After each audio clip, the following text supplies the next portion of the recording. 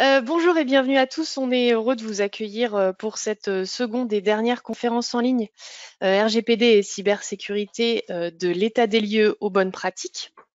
Tout d'abord, je me présente, Tiffaine Volio, chef de projet réglementaire et DPO pour la société Julie Solutions. pour cette présentation, je suis accompagnée de Hervé Favre, fondateur de Ma Sauvegarde, et de Ludovic Jargot, donc business manager pour Ma Sauvegarde également. Ils sont tous deux euh, experts euh, en cybersécurité. Euh, donc nous allons vous faire la présentation. N'hésitez pas à poser vos questions dans le chat. On s'est réservé une petite période à la fin pour, pour répondre aux interrogations que vous pourriez avoir pendant notre présentation. Alors, tout d'abord, en introduction, euh, donc l'entrée du RGPD est en vigueur donc depuis le 25 mai 2018 et plus que jamais avec cet RGPD, vous devez être euh, transparent et attentif à la gestion et à l'utilisation des données de vos patients et de toutes les données personnelles que vous allez gérer au, cabinet en, général. Il vous appartient de sécuriser et de sauvegarder les informations à données personnelles que vous, euh, que vous avez en votre possession. Cette euh, loi, donc, qui est une loi européenne, la RGPD, va se surajouter en France à la loi informatique et liberté, qui avait déjà été refondue en, 2004. Et cette RGPD va s'appliquer à toutes les données à caractère personnel donc, que vous êtes amené à traiter, les données patients, mais aussi les données qui peuvent être relatives à vos collaborateurs ou à vos employés euh, au sein de votre cabinet. Cette RGPD aussi va s'appliquer aux documents qui sont au format papier. En opposition par rapport à avant, puisqu'on ne s'occupait qu'aux fichiers, que sur les fichiers informatiques. Un petit rappel de euh, l'avis de la CNIL, qui est l'organe de conseil et de contrôle euh, de la RGPD. Euh, donc la CNIL rappelle que le secteur de la santé est d'autant plus impacté par ce texte, puisque les données de santé doivent bénéficier d'un régime de protection renforcé, car ce sont des données sensibles. Les données sensibles dans le sens de la RGPD, ce sont des données qui touchent à l'intimité de l'individu et dont l'utilisation à mauvais escient va représenter un risque élevé pour les droits et les libertés des personnes. Et forcément, les données de santé font partie de ces données sensibles. À ça s'ajoutent aussi des obligations additionnelles qui sont liées au Code de la santé publique, au secret médical et toutes les autres euh, règles qui vont s'appliquer dans le domaine médical. Alors, en premier lieu, avant d'appliquer la RGPD, il faut déjà qu'on regarde ce qu'est une donnée à caractère personnel.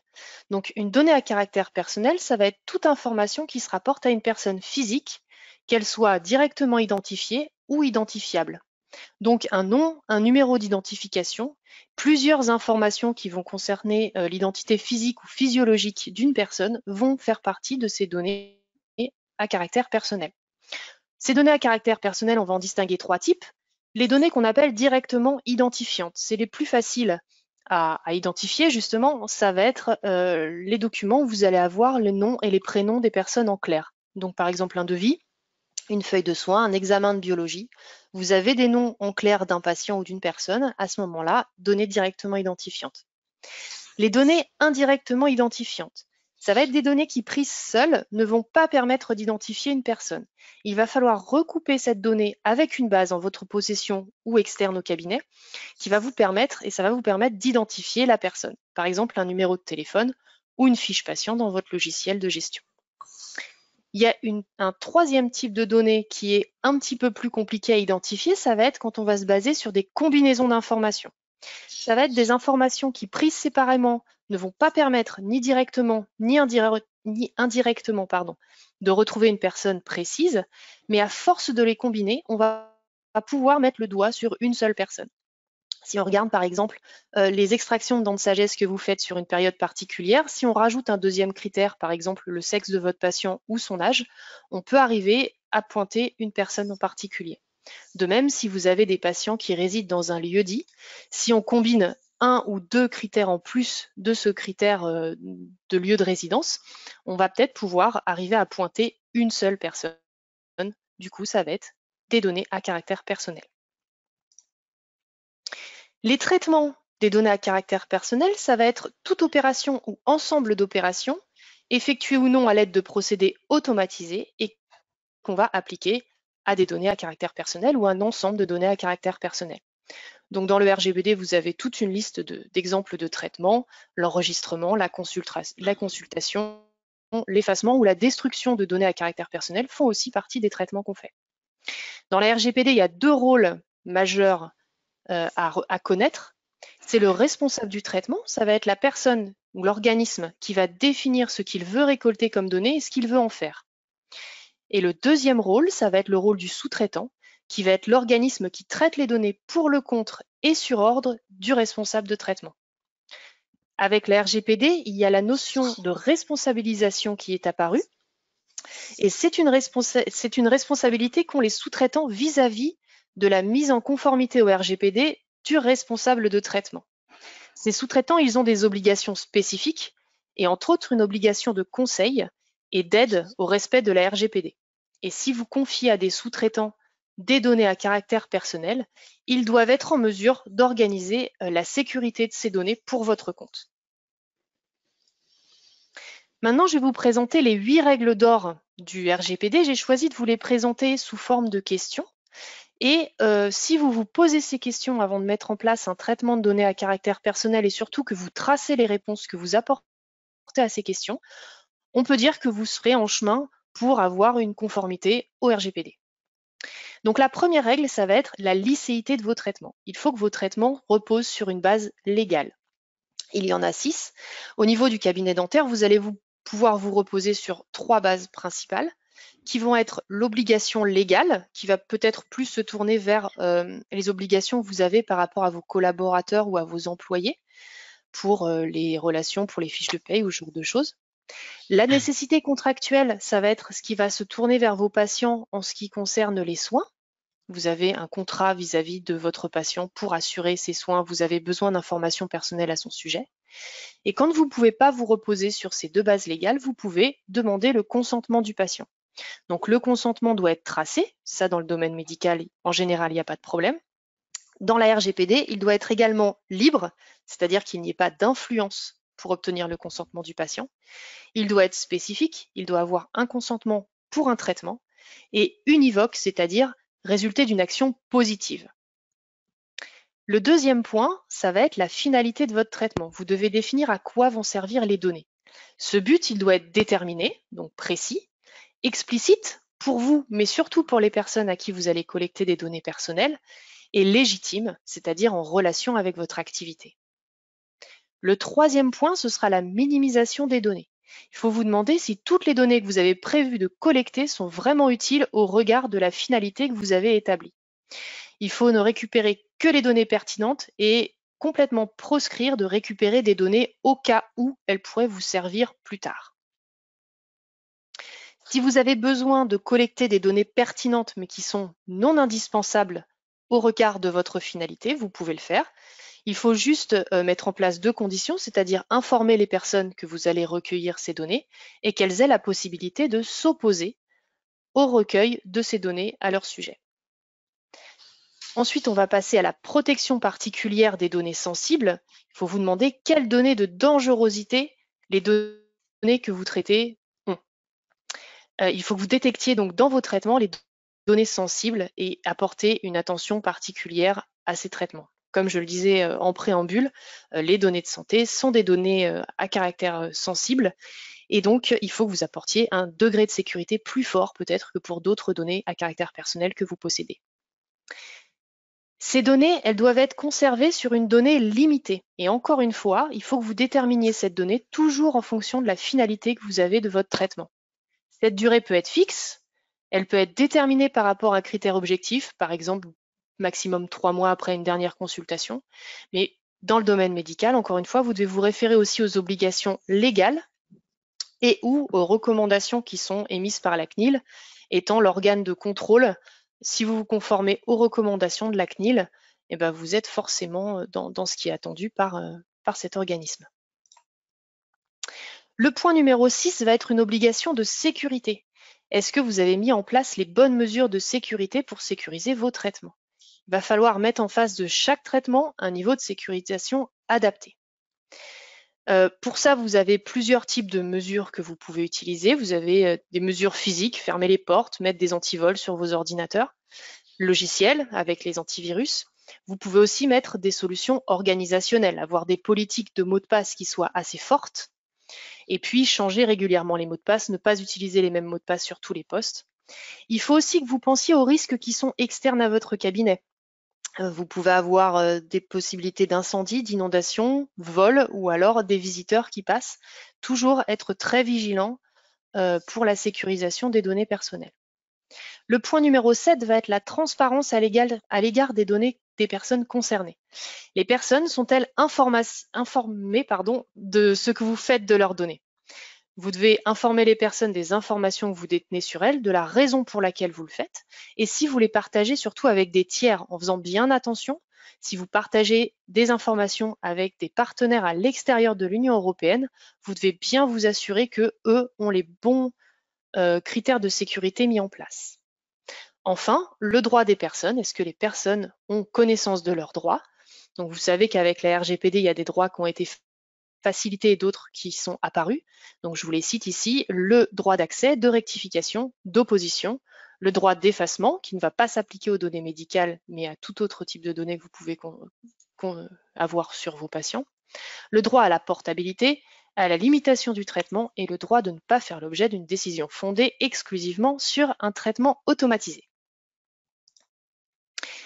Et finalement, qu'est-ce que vous avez à faire euh, au niveau de votre cabinet pour euh, bah, être en conformité avec ce RGPD Déjà, comme je disais tout à l'heure, il faut tracer. Donc la première chose à faire, ça va être d'avoir une documentation mise à jour. Et la première chose à faire, ça va être le registre des traitements. Donc, vous êtes soumis à la tenue de ce registre des traitements parce que vous traitez de manière régulière des données à caractère personnel dans le cadre de votre activité. Il n'y a pas d'obligation sur le format de ce registre. La seule chose que le RGPD demande, c'est que vous ayez des traces écrites de l'existence et du maintien de ce document. Alors, il va se, structurer en fait en deux parties. Un espèce de, sommaire, on va dire, où vous allez lister les noms et coordonnées du responsable de traitement, éventuellement les coordonnées de votre euh, délégué à la protection des données si vous en avez un. Petite parenthèse à ce sujet, si vous exercez seul ou au sein de petits cabinets de groupe, vous n'avez pas besoin de, déléguer, de désigner un délégué à la protection des données. Et puis, la dernière partie de ce sommaire, ça va être une liste de tous vos traitements que vous menez dans le cabinet. La deuxième partie du registre des traitements, ça va être une partie beaucoup plus détaillée où vous allez reprendre chacun des traitements et vous allez mettre, euh, inscrire sur ce registre les finalités, les catégories de personnes concernées les types de données que vous récupérez, les destinataires des données, la durée de conservation, en somme, les réponses aux huit questions qu'on s'est posées précédemment. La deuxième partie de cette documentation, c'est un affichage dans votre salle d'attente. Ça, ça va vous permettre à répondre aux parties euh, transparence et aux parties droits des patients. Euh, vous pouvez trouver des modèles tout faits. On en a un sur le site de Julie dans la partie euh, attestation et documents. Vous le personnalisez, vous pouvez l'afficher, vous avez euh, les informations nécessaires pour que vos patients soient au courant des traitements que vous faites. Vous pouvez également mener des actions au niveau de votre personnel, sensibiliser votre personnel à la RGPD et adopter des bonnes pratiques. Éviter de laisser des documents ou des post-it sur les bureaux, avoir des mots de passe forts et les changer de manière régulière. Et enfin, euh, vous pouvez aussi faire des actions au niveau de votre équipement informatique. Avoir un antivirus, c'est bien, il faut surtout le maintenir à jour et qu'il soit correctement paramétré pour vous permettre de travailler.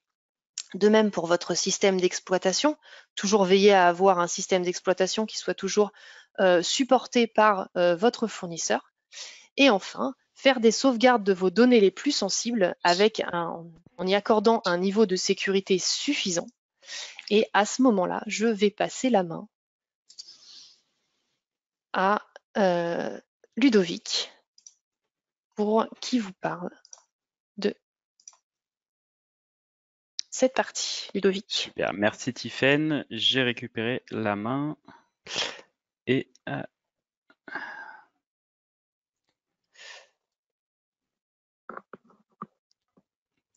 voilà. Alors je vais à mon tour euh, passer la main à Hervé puisque je vais intervenir sur la deuxième partie de cette présentation.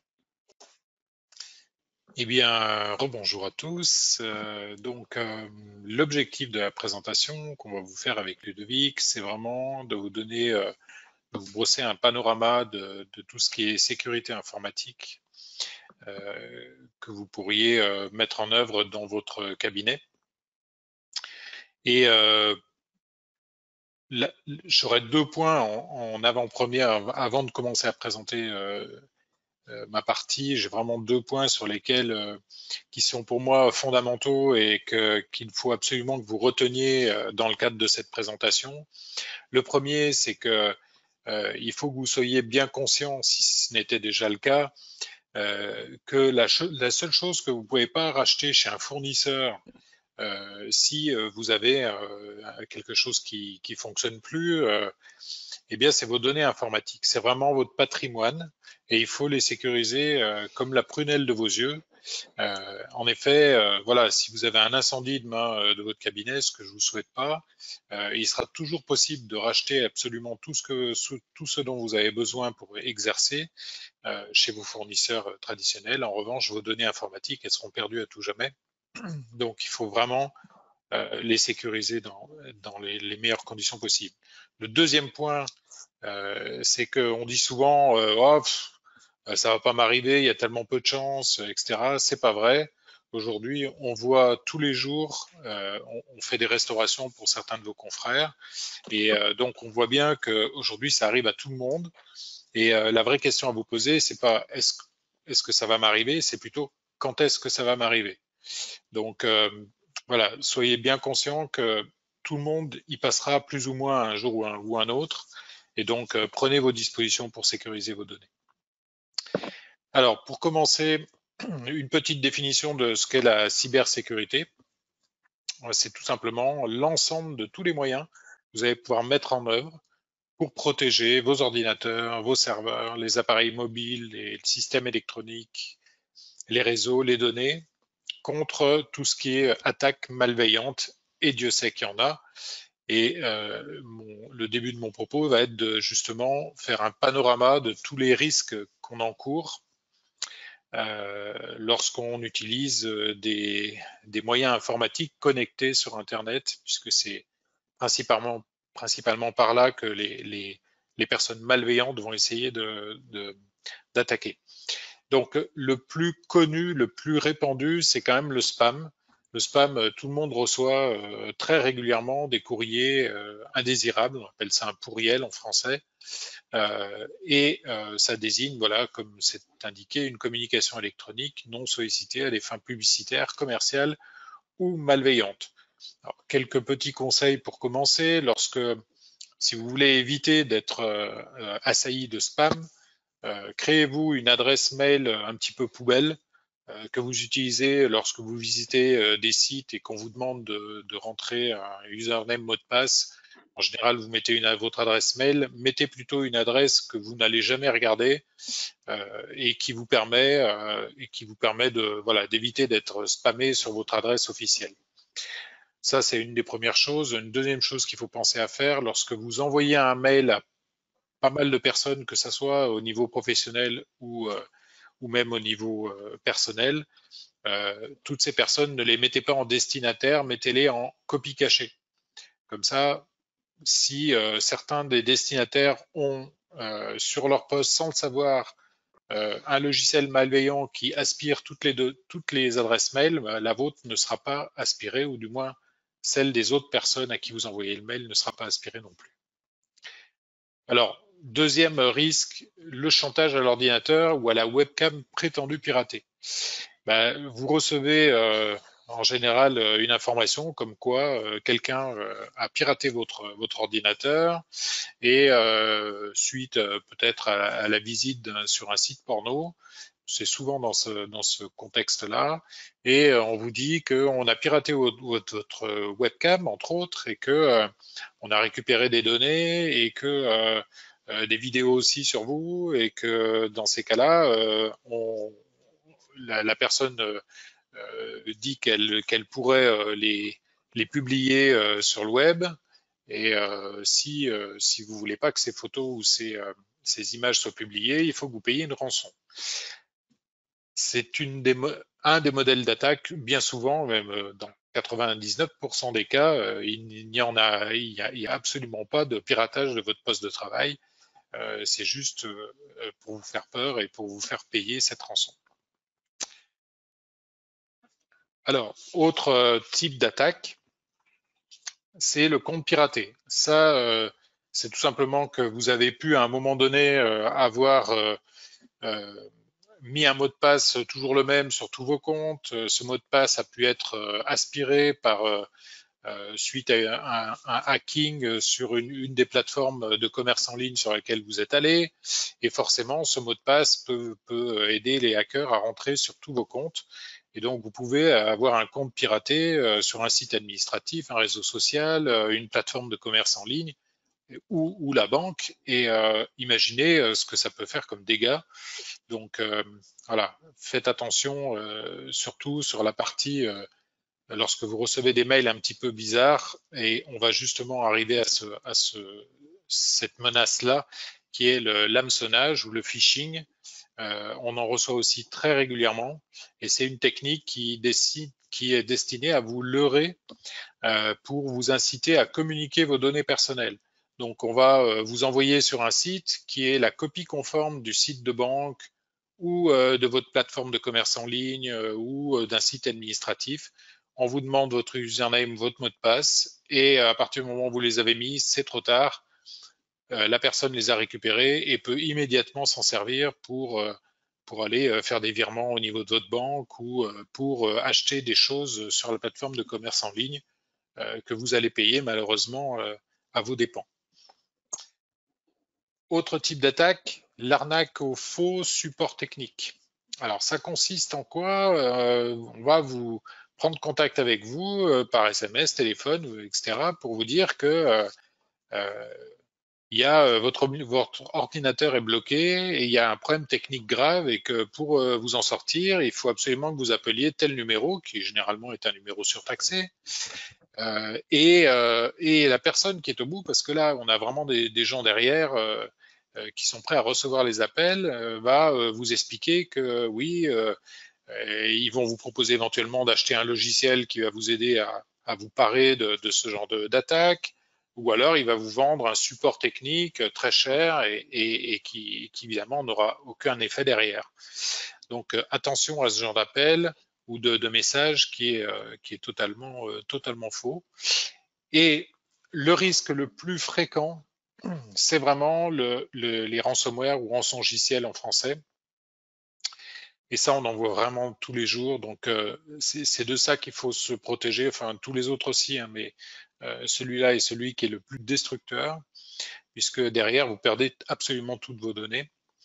Et donc, euh, s'il s'agit d'un logiciel malveillant, donc c'est quelque chose que vous allez déclencher vous en faisant une manip que vous n'auriez pas dû faire. Par exemple, double-cliquer sur un fichier qui, n'est pas le bon. Et donc, ça consiste à chiffrer tous les fichiers que vous avez sur votre, sur votre poste de travail. Donc, on imagine hein, toutes les radios que vous avez pu prendre, tous vos courriers, etc. Absolument tout, y compris les données du, qui sont produites par Julie. et qui vont vous réclamer euh, le paiement d'une rançon pour obtenir à nouveau l'accès à ces fichiers.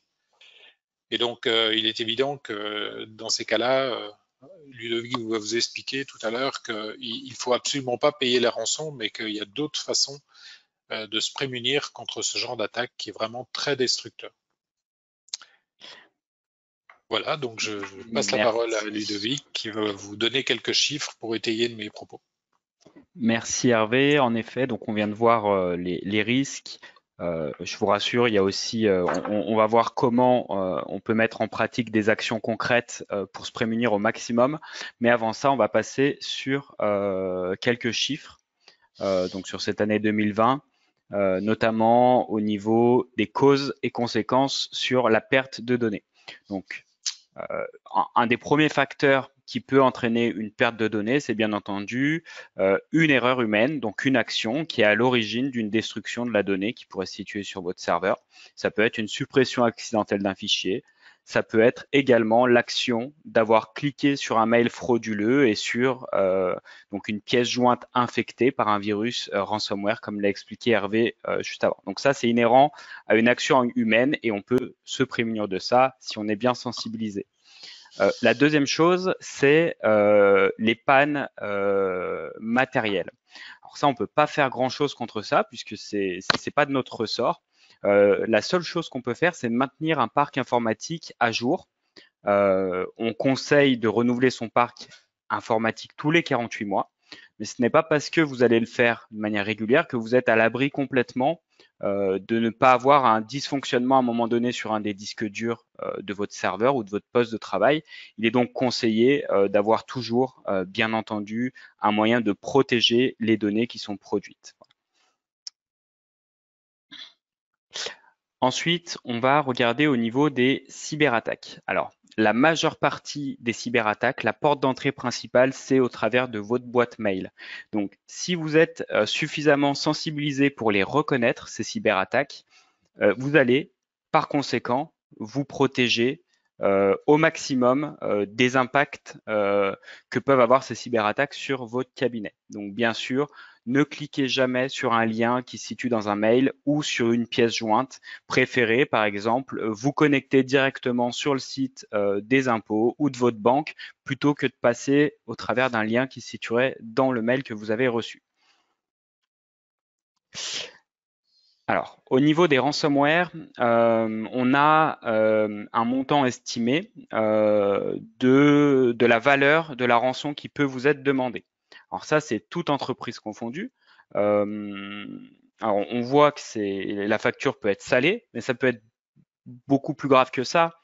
Certaines entreprises se sont vues demander des rançons de plusieurs millions d'euros pour récupérer les données. Alors bien entendu, comme a commencé à dire Hervé tout à l'heure, c'est absolument déconseillé de payer cette rançon, puisque déjà ce sont des criminels qui sont en face, donc vous n'avez aucune garantie sur la véracité de leur engagement à vous restituer vos données. Euh, second point, en payant, vous alimentez ce système et euh, c'est un système qui génère plusieurs centaines de millions d'euros de chiffre d'affaires chaque année. Donc c'est un business plutôt juteux pour les attaquants et plus les, victimes payeront et euh, plus les attaquants auront des moyens sophistiqués de prendre à leur piège de plus en plus de victimes.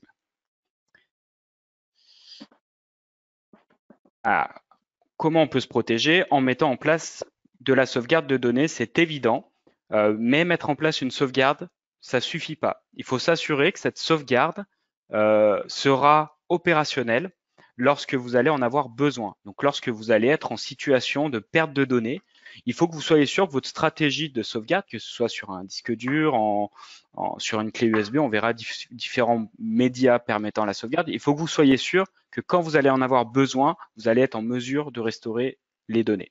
C'est pour ça qu'on dit que sauvegarder c'est bien, mais pouvoir restaurer c'est mieux. Donc il faut superviser euh, que les sauvegardes se passent bien.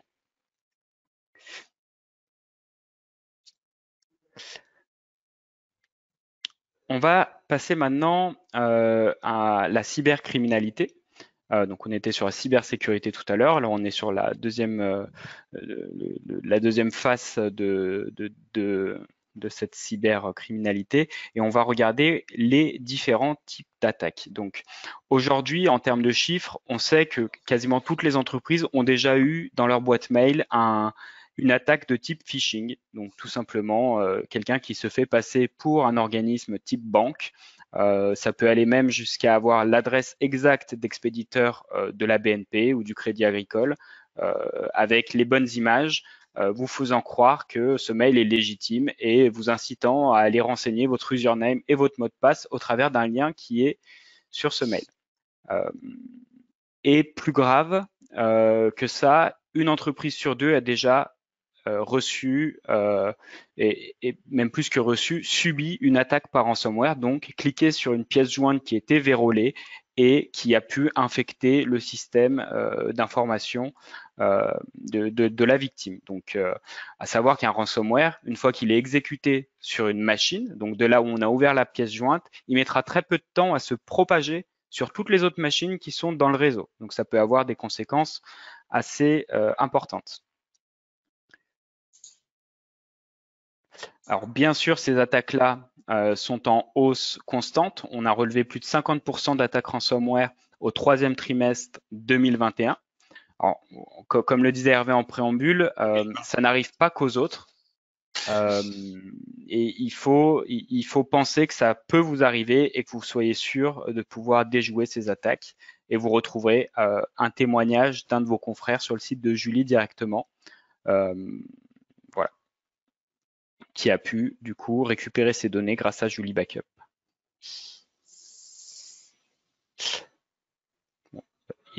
66% des TPE ont déjà subi une cyberattaque. Alors cyberattaque, c'est euh, d'un point de vue global.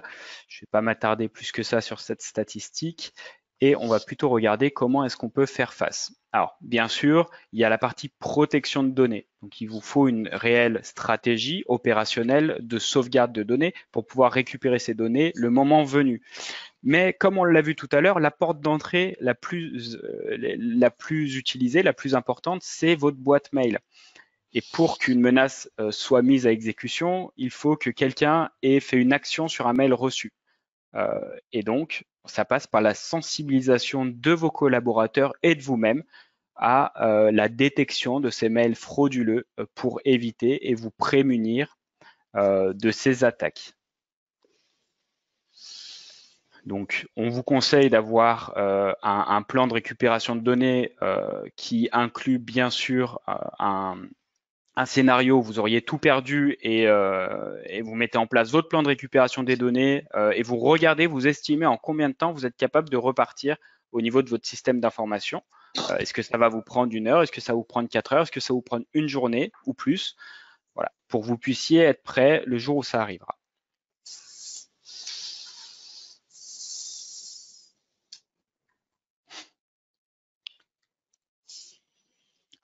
Maintenant, on va regarder plus en détail les moyens d'action pour vous prémunir de ces risques. Donc, bien sûr, euh, il va falloir vous informer et diffuser l'information que vous allez acquérir à vos collaborateurs.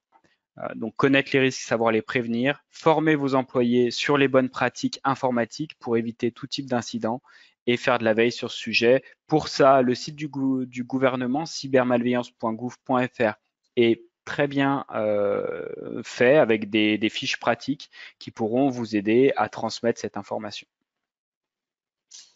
Ensuite, bien entendu, vous avez des moyens de vous protéger.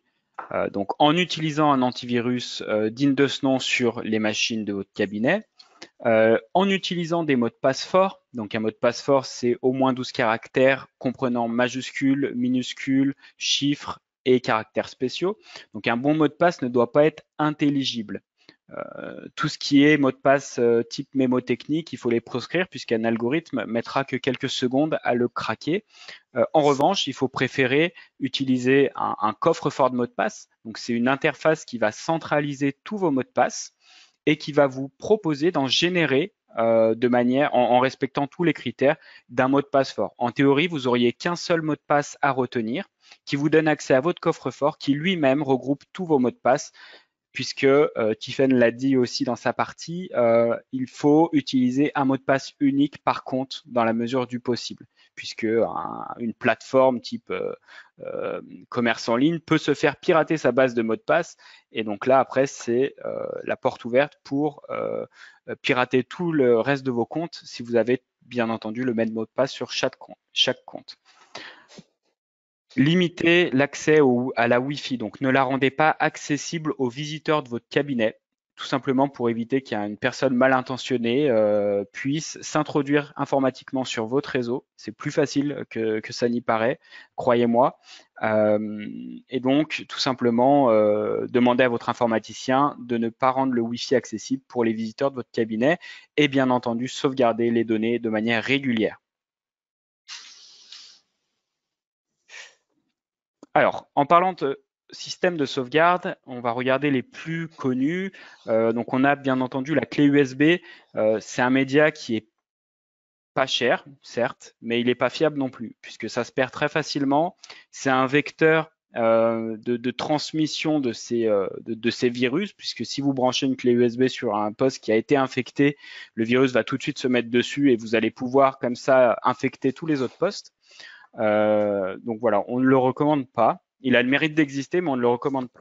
Le disque dur externe, ça reste un moyen euh, plutôt fiable pour sauvegarder et sécuriser les données du cabinet, à condition de le faire dans les règles de l'art.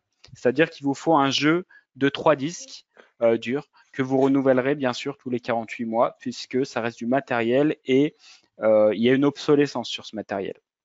Donc ça craint aussi les chutes. voilà. Donc pourquoi avoir trois disques? Tout simplement pour faire une rotation journalière entre deux disques et tous les soirs en prendre un et l'emmener euh, à, l'extérieur de votre cabinet.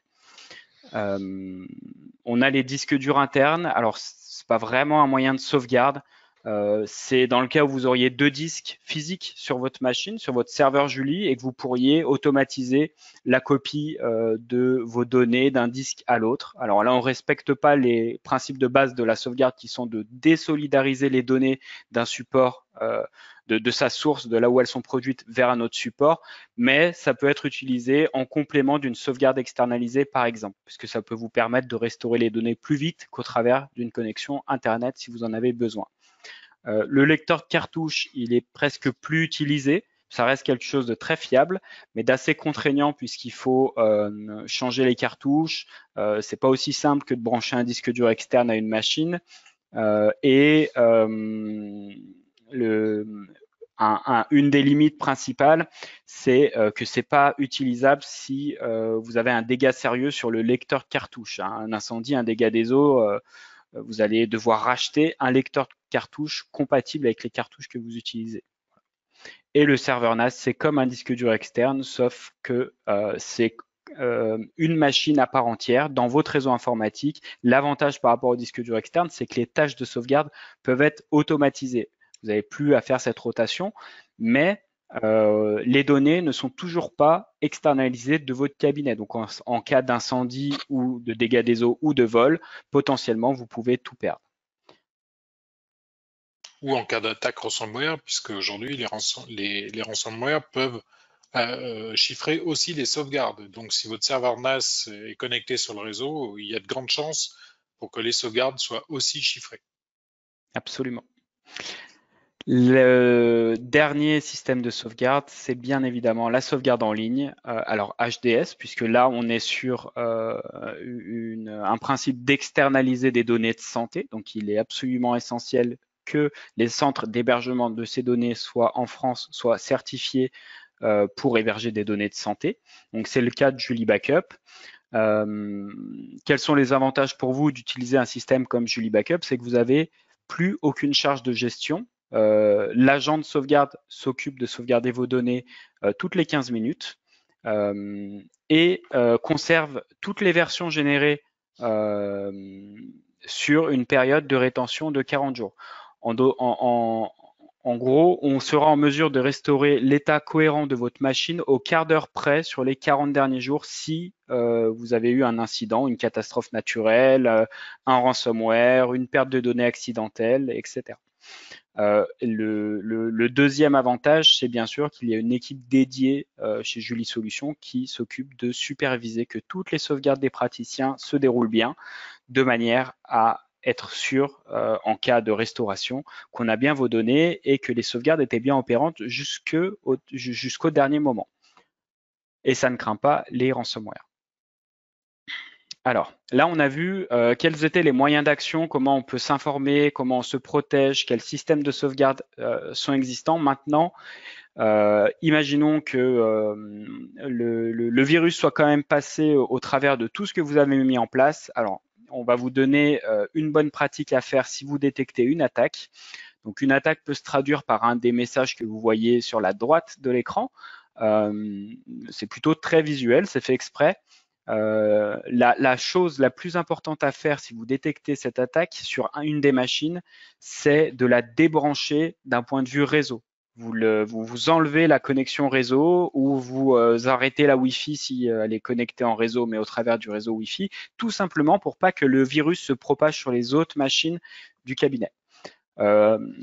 Il est conseillé par les experts en, en, sécurité de laisser tout de même la machine allumée avec le virus dessus. De toute manière, les données vont être perdues quoi qu'il en soit. tout simplement pour que s'il y a une enquête plus approfondie euh, sur les causes, les raisons et peut-être même pour déceler quel était le, type de ransomware pour remonter jusqu'à la source du, réseau criminel, voilà, ils peuvent avoir besoin d'informations, de, logs qui sont présents sur votre machine. Donc voilà, il est conseillé de la laisser allumer, mais de vraiment de l'isoler d'un point de vue hermétique au niveau du réseau.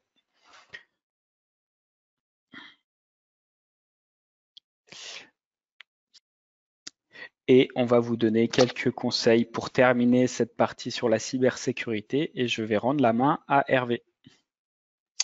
Merci. Donc, quelques conseils ultimes pour euh, vraiment essayer de, faire en sorte de jamais avoir de, problèmes sur, sur vos données informatiques. Euh, il y a donc des mesures techniques et des mesures comportementales, on va dire. Donc euh, sur les mesures techniques, on en a déjà parlé. Euh, pensez bien à mettre à jour le, système informatique, le, système de base Windows euh, de vos postes de travail. La majeure partie de vous, enfin vous travaillez généralement sur Windows, mais aussi sur macOS. C'est le même concept. Il faut absolument tenir ces systèmes d'exploitation à jour de façon vraiment très régulière et, ne pas laisser, ne pas attendre six mois pour faire une mise à jour. Euh, bien entendu, installer un, antivirus sur tous vos postes et un pare-feu. Un pare-feu, c'est un système qui va bloquer euh, des, tentatives euh, d'attaque au travers, à partir d'Internet sur, sur votre réseau. Utilisez un coffre-fort de mots de passe, comme on a parlé tout à l'heure Ludovic, qui permet de stocker et de générer des mots de passe automatiquement, parce que c'est vrai que quand on vous dit qu'il faut mettre des mots de passe différents sur tous les comptes, ah oui, c'est un peu fastidieux. On n'a pas la possibilité, enfin, c'est difficile d'avoir la possibilité de retenir euh, peut-être une vingtaine ou une trentaine de mots de passe. Donc, euh, il vaut mieux avoir un coffre-fort pour les stocker. Euh, et puis, demandez à votre informaticien ou faites-le vous-même, c'est très simple, de, verrouiller automatiquement votre poste de travail lorsqu'il n'y a plus d'utilisation, ce qui évite que quelqu'un pourrait s'en servir et s'introduire dans le, quelqu'un physiquement qui serait au cabinet pourrait atteindre euh, votre, votre serveur au travers du poste qui n'est pas verrouillé. Donc ça, ce sont des mesures techniques. On a aussi des mesures comportementales. Là, on a, il faut plus travailler sur l'humain. Et donc, euh, euh, la première chose, évitez de faire des recherches à caractère personnel sur votre poste de travail professionnel. Faites vos recherches chez vous et, ne mélangez pas les, genres puisque c'est souvent sur des sites euh, perso que, euh, sont, stockées d'éventuelles euh, tentatives de, virus. N'utilisez pas de clé USB qui n'aurait pas au, préalable été testée et vérifiée qu'elle ne possède pas un virus. vérifiez toujours l'expéditeur d'un mail et si la demande qui est faite est vraiment vraisemblable. Euh, évidemment, éviter de cliquer sur le lien d'un mail douteux, on en a parlé tout à l'heure. Préférez plutôt aller sur le site euh, que, par exemple, de votre banque. Euh, et si vous avez un doute, bien entendu, demandez autour de vous, appelez des spécialistes plutôt que de faire des bêtises. Il vaut mieux, il vaut mieux se renseigner lorsqu'on a un doute.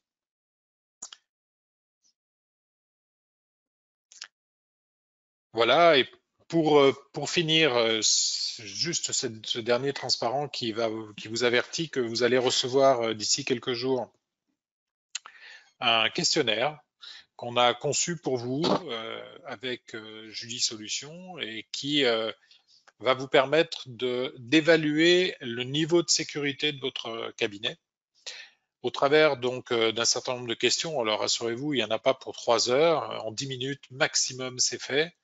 Et euh, derrière, vous allez pouvoir euh, recueillir votre niveau, euh, votre pourcentage de niveau de sécurité. et puis, bien entendu, tous les conseils qu'on a pu vous donner aujourd'hui qui vont vous être redonnés en fonction évidemment de ce que vous aurez répondu. ce qui vous permettra bah, de, de, travailler sur les points à améliorer, puisque je pense qu'il y en aura, il est probable qu'il y en aura quand même quelques-uns. Voilà, donc vous allez recevoir ce mail d'ici quelques jours. Voilà, on a terminé, euh... Ok, alors je vais reprendre la main. la parole. Euh, voilà, je vais reprendre la parole pour voir s'il y a des questions. Alors, du coup, je vais avoir une question sur euh, Julie Backup. Alors, je vais vous repasser la parole, messieurs. Euh, pour Julie Backup, est-ce qu'il faut laisser le serveur du cabinet allumé en permanence? Alors, merci pour cette question, Tiffaine. Euh, absolument pas, étant donné que la sauvegarde se fait toutes les 15 minutes. Euh, dès que la, journée est terminée, la sauvegarde est déjà faite. C'est l'avantage, elle se fait au fil de l'eau et vous pouvez éteindre votre serveur le soir quand vous rentrez chez vous. C'est bien pour la planète. Et une deuxième question, a priori, j'ai pas l'impression qu'il y en ait d'autres. Euh, est-ce que euh, Julie Backup peut être infectée par un ransomware? C'est une bonne question également, euh, et la réponse est toujours pareille, euh, absolument pas, euh, étant donné que les fichiers, avant d'être externalisés, sont découpés en blocs. Donc on sauvegarde pas les, les, fichiers en tant que tels. L'agent de sauvegarde Julie Backup les découpe en blocs et les externalise sur les centres d'hébergement.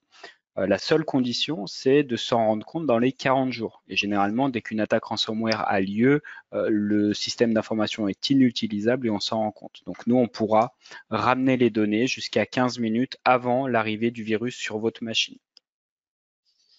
Ce qui est déjà très bien.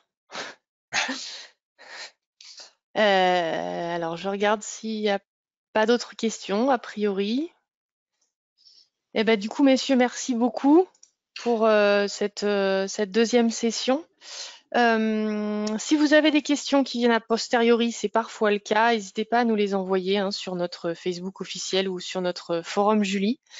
Il y a encore des conférences toute la journée auxquelles vous pouvez vous, connecter pour vous tenir informé. Et puis nous, on vous donne rendez-vous pour une prochaine conférence. J'imagine plutôt en 2021. Merci beaucoup. Au revoir. Merci. Merci à tous. Au revoir. Bonne journée. Au revoir.